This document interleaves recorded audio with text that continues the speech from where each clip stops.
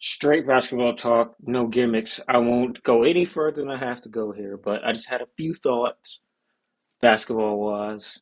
Not my gimmick on YouTube, but I was watching, I would say most of the um, UConn LSU Iowa game and a good chunk of the um, the UConn and USC games.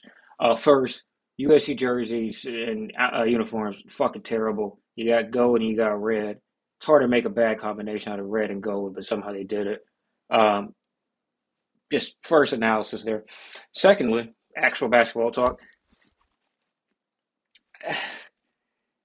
to me, like what people want out of women's basketball or what they're getting out of women's basketball isn't even like necessarily specifically about the quality of the games. I think a the individual quality of the players, fan fucking tastic. You got uh, Hannah Hidalgo, uh, you got Bueckers, you got Ice Brady, Aaliyah Edwards, Cameron Brink, um, you got I forgot my AC was on. You got Caitlin Clark, you got Angel Reese, you got Flau'jae, you got um shouldn't have got out when I didn't have underwear or didn't have pants on. Hopefully it doesn't get caught in there. But you got all of these incredible individual talents. Pretty much, I would say more or less the best era of individual talent that women basketball has had. Eh, let's say transcendent, like literally, you have to watch them. Like I'm not saying that. Obviously, they had like Breanna Stewart, Brittney Griner, uh, you know, DeWanna Bonner, all these Hall of Fame people like the you know late 2000s or early 2010s. Um, I'm not going to pretend like I was watching basketball, like women's basketball like that to even say the talent was worse or better back then. I will say that I do feel like it only makes sense that with men, men, middle school, high schoolers putting more into their craft than we've ever seen before. And girls, uh, girls, women, I, I, I just use these interchangeably, I guess. But with middle school and high school girls doing the same, it makes sense that when they do become women, when they are going to college, they are more talented than previous generations. It's the same discussion argument that we use. We're kind of comparing this era of NBA talent against previous eras. Pretty much the I would say the typical kind of closing piece of that argument is always the average player nowadays is far more talented and skilled than the 2000s, for example. And generally, that's kind of unarguable. I mean, if you look at some of the inter rotation guys back in, even for finals teams like New Jersey, New Jersey Nets back in the 2000s, I mean, these are like really bad bench guys. Look at the bench guys for like the Cleveland Cavaliers 2017, Golden State Warriors. I mean, these are like legendary players, or at least really good players, to say the very least. So it's like the the floor has been raised such to such a high degree. I can't say the top level is really much better than where it was previously. I mean, I mentioned some of those legends that was had previously. Even um, I, I think Sabrina Ionescu is like kind of like the precursor to like a lot of this. Like she had the Kobe cosign. Um, you know, Kobe's obviously going to like raise the ele- really elevate the the money, the television, the merchandising, all that stuff that you really do need to make any sport kind of break through. Uh, Kobe's going to pretty much like lead the charge there himself. Dolo, really, if he had to. Um, and she had the cosign from him. So I thought she's kind of like a precursor to this. Like, I don't think she gets all of the kind of, you know, recognition for really being like what I think she predates Bueckers by like a year, which is crazy. Like her last year, I think was like right before Bueckers' first year. That's kind of how long Bueckers has been there. But um, you know, Bueckers came in with Clark too, so they kind of came around the same time. But uh, that being said, the individual talent is incredible right now, just generational and entertaining, and it's real personalities. You go to Clark, you go to Reese, you go to even Cameron Brink. Um, Hannah Hidalgo, kind of like a New York vibe to her. Like these guys are, are, are just real guys. These gals, real personalities, just real stars. And to me, to be a well, a superstar, to be a superstar, you have to have a personality. You can be a star. Like Pascal Siakam in kind of the post Kawhi era was, I would say, a star. Like that's a guy that was a really good player, probably a top twenty-five ish player, you ever take. Jaylen Brown, kind of before these last few years, was a star. Like he was a good number two to number three option. But a superstar, that's where like oh I think you feel like the extracurriculars come into like the non basketball stuff. And, I mean, some people feel like that's that shouldn't be the case, but if you look in music or entertainment, Michael Jackson is different than Tito Jackson. They might be comparable, like you know, vocal range or whatever. They're not, but the point being, like, it could be, but like Michael Jackson is way more marketable. You know, and even nowadays, like you know, uh, Daniel Caesar probably isn't a superstar anymore because the marketability kind of like plummeted after the whole like you know trying to eat YesJulz's ass uh, metaphorically uh, when she's being roasted. He's trying to take up the uh, mantle and protect his queen from being disgusted and uh, discussed in such a way. But you got some guys like Drake that have the marketability. The talent might be there, but also the marketability. That's huge. You got to have the marketability. You got to have the platform the you have to be you are a platform more or less, and that's just stuff you need. You are selling entertainment at the end of the day. You are selling personas, characters, all that stuff when you're doing these sports, when you're running these sports, your ESPN, Fox, whoever. You're selling almost like a movie in of itself. You got to have your central cast. And to this point, this is why a lot of people, a lot of women especially, or, or not just necessarily women, but like people that that really are ardently supporters of the premise that women's basketball could be more lucrative financially. You have to invest to get the gains out. Most of those people's opinions is that the investment was not done properly into women's basketball, which is why people say they didn't like women's basketball, or at least they didn't um, weren't able to catch it, weren't able to watch it, didn't enjoy blah blah blah you can't really tell me that like people like I I I just said like the talent has probably the floor has been raised talent wise. I'll give you that. But you can't tell me it was raised that much in a half decade or so because this none of this was happening in 2019. Like ENS maybe uh, you know, Kobe was trying to get it going. It was very um, nascent that movement. But you can't really tell me like 2019, this is really much, much, much different a game than 2024. Investment happened, and ESPN, who got the uh, the women's college games, while CBS and um, TBS and that whole conglomerate got the tournament games for men. ESPN had a rooted rooted vested interest in making sure that worked out. That's why you have the fucking the hoodies. They even I don't know if Kobe designed those, or I know Kobe rocked them first. Um, I think I don't think it was designed like by Kobe. I think he just kind of like had the partnership, the deal to to market them. But those orange hoodies that everybody's wearing in the early 2020s, uh, they had like the WNBA logo on there. Um, I believe those came about because of ESPN in part, and it's just like they had a best interest in making this work. They also get WNBA games, which I'm not really sure who else gets that NBA games, honestly. I know they do, but I don't know who else does. Um, so it's just it was just investment. It just pumped investment into it. Like if you had Caitlin Clark doing what Caitlin Clark does in a forest where nobody's watching, able to even catch the games. I, I mean, I think she would still have some level of stardom nowadays with the internet and all that. But like, we've seen it with the Pac-12 network. We've seen plenty of great basketball even some good football, uh, some really good football actually this past cycle. That just was lost. Like people didn't watch that shit. Colorado games did do some numbers in those uh, Pac-12 slots, but for the most part, like after the first month where they were getting on ESPN every year or every game, they started doing like routine non-ESPN games. You didn't hear about them on social media. They died down. Um, obviously, started losing games as well, which doesn't help. But the point being, man, if you're not if you don't have a platform, it's hard to say, no matter how good you are, make an emotion. It's just, it's fucking difficult. Um, and I mean, we still feel like there's some pretty quality gals that, that have not necessarily taken that jump yet in terms of like having the platform. Like and Hidalgo is probably going to be like along with Juju Watkins, like going to be like next up when this whole wave, Bueckers and all those like gals leave. Um, Ted had the same platform that even Juju has had, you know. Um, not comparing or contrasting them, just saying like I would contend they're both probably very entertaining players, but you know one has had a little bit more platform this season than the other one has had. I think they're both freshmen. Like I'm not saying that don't like debate one against the other.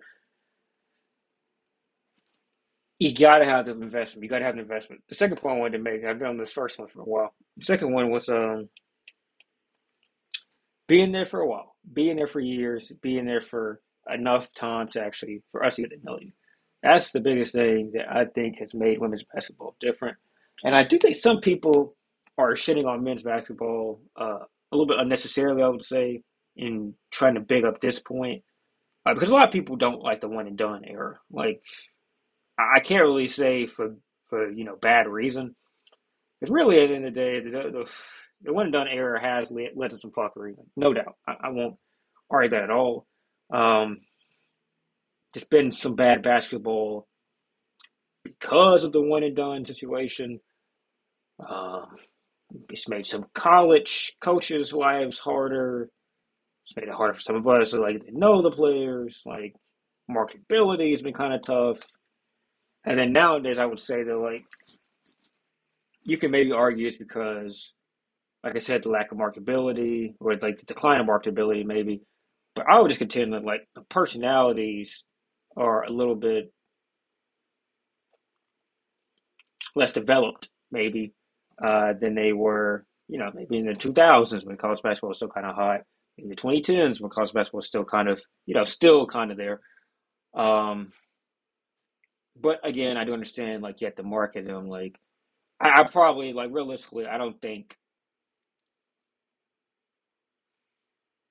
Hmm, I'm trying to think of a good example here like someone like Jared McCain. Like, is Jared McCain a much less interesting person than somebody like R.J. Barrett? Probably not realistically. Like, I, I think Jared McCain is at least interesting based on current kind of recent discussion, especially. And R.J. Barrett was a massive name. Just had a lot, you know, kind of bigger uh, expectations, had a bigger platform, playing on, you know, one of the most hyped teams ever. I'm not gonna pretend like marketability is a huge part of like why we come to know some of these personalities more than others. But at the end of the day, it's on the really the men's players to kind of you know be worth marketing, and it's hard to be that when like like Rob Dillingham played some of the best basketball you'll see a scoring guard play. Like, that's just a fact of the matter. Like you watch that guy go out there, he's giving you 30 on just beautiful shot attempts. I mean, I'm not talking just like chucking threes or just blowing past guys layups, just some really wonderful shot selection some of his better games at least. And his skill just oozes off. But that's like a guy that like I mean, in a Kentucky of yesteryear, maybe he's like John Wall level hype. I don't know. I think a ton of people know who he is. Like a ton of people expect him to be a top five, top ten pick. I think all the usual kind of outputs after a successful college season are still there for him. He's probably still be a star if it holds up for him at the NBA level. But I just think like there's something that with all this that's missing. I, I just think like the at the very least at one point in time you got the foundation, like the the team core was going to be there. You may lose or gain a couple pieces, but with the transfer portal, not only you losing the one and done, you're also losing the more or less like the entire foundation, the entire core. Like for Auburn, for example, Auburn after 2022, 2023 lost Wendell Green, Zep Jasper, um, and that was after having already lost uh, Jabari and Walker Kessler in the previous cycle. Um, so they had actually retained a lot of their core, but those are like really big names that they lost from their title team. You know, just two years removed. Um, I mean, they've had you know these early uh, early entrants, you know, to the draft. Sharife Cooper, JT Thor. Uh, they've had transfers. Like I, I am an Auburn fan, so that's why I know Auburn. But like the point being, like pretty, pretty huge names that they lost, necessarily not because of the players. Exactly. I think Wendell Green was kind of shown the door in a sense. Not saying like he was bad or anything. I just think like Auburn pushed him out. So keep that in mind. Uh, I do think that people got to understand like not every time where someone enters the transfer portal, it's not always because of the player wanting to leave. That's something that I think gets lost because people blame the player every time in these situations. Plenty of times I've seen, especially in football, someone leaves because more or less they're asked to leave. Like that happens often. That's happened at Auburn many times in the last few years in basketball. Uh, but all that being said, we just don't get to know these guys well enough, at least in my opinion. Now, you may get to know the person going to different schools, like you may get to know Caleb Love at UNC the same way you get to know him at Arizona.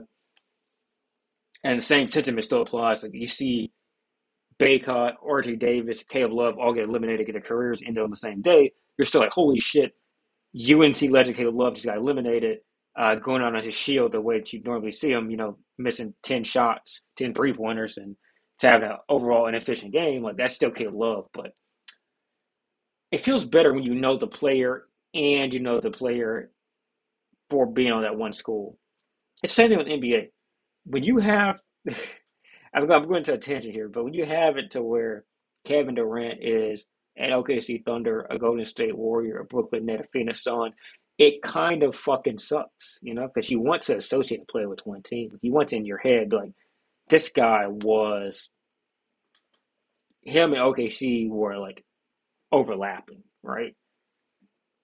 And you kind of like, especially I get older, like when they start kind of sucking, like you know, like uh, you know. I remember Durant, but like I, I try to remember Durant from OKC and Golden State. Uh, Phoenix Durant uh, played for a scrub team that they cobbled together and they're going to miss the fucking playoffs, uh, you know, twice. Or they missed the playoffs this season. They made it last season, but like that fucking. Oh, we still a couple games off of the Nuggets. Oh my god! It was like, dude. Um, so it's just like, it's a system of like not loyalty per se. Like you don't, I don't think I really give a shit of like, like I, I'm not aligned to the team that these guys are going to, but it's just like in my head, like I want to associate the school and the player together. Like it just feels that I can kind of, if I if I hate them, I can kind of apply more hate towards the organization and the player.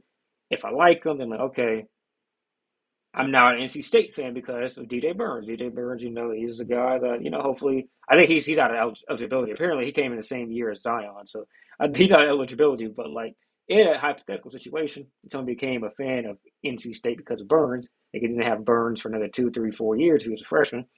Um, and then they kind of like breed of loyalty towards that school. You have those fond memories. Um, I'll give you an example. Um, Kentucky, when they had Fox and Monk, you would watch for those two all the time. And you kind of be like, okay, I want to see who the next one up. Who's the next guys after this? So you kind of become a fan when a guy stays at the place. But the problem is like the guy staying at the place that concept is like almost completely dead at this point. So you're like, well, fuck, you know, I'm a player fan, not a team fan.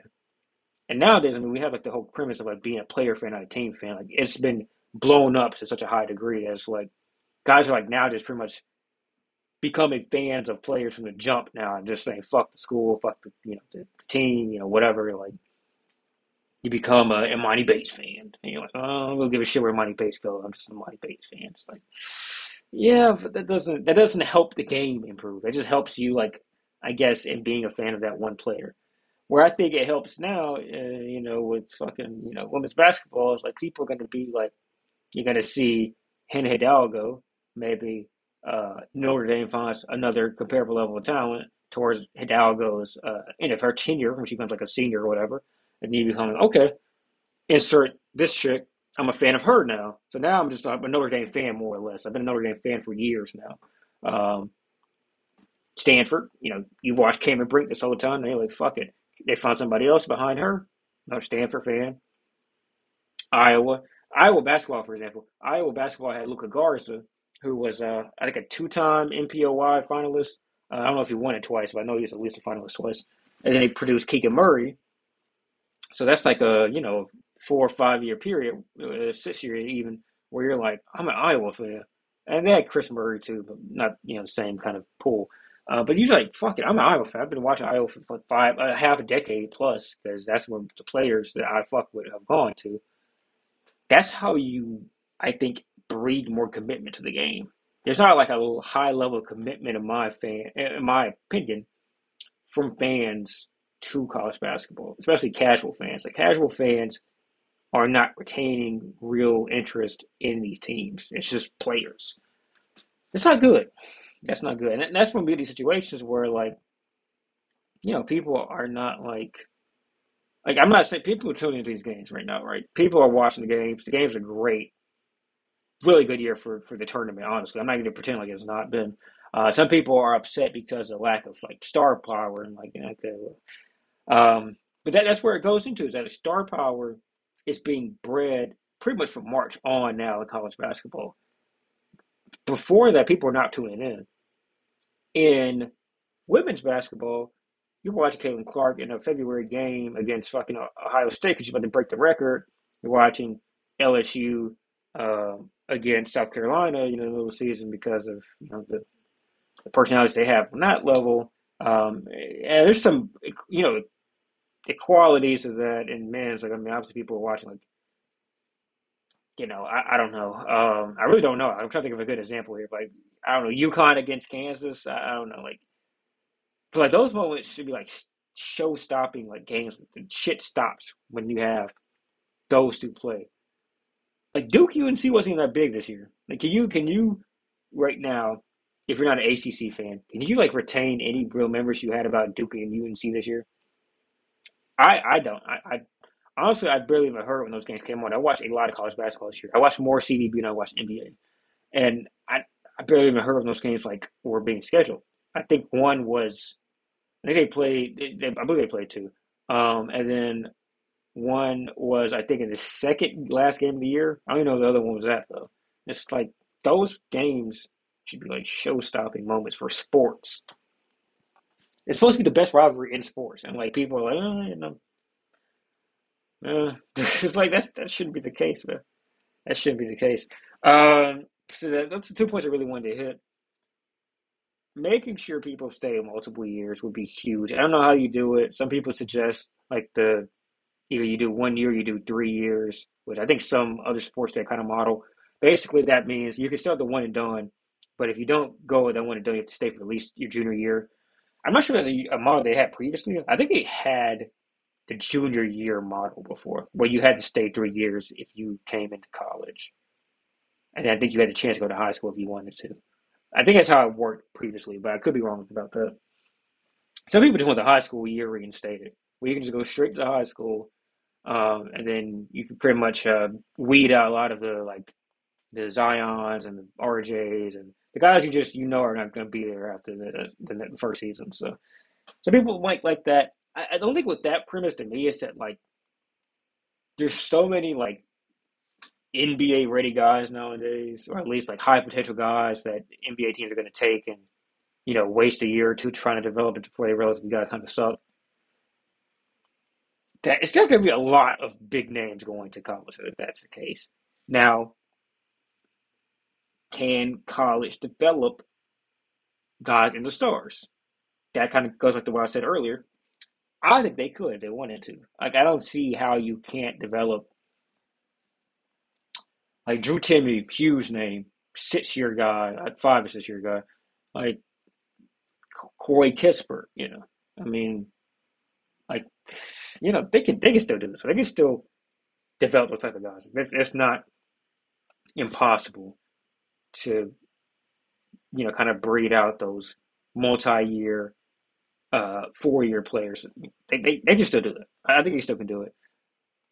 Will they be as amazing to watch as you know fucking Rob Dillingham or Paolo Banchero or uh, all these superstar talents? Maybe not, but I don't think people necessarily care about what the level of play is. I think they just care about like having a really good player that they bond to.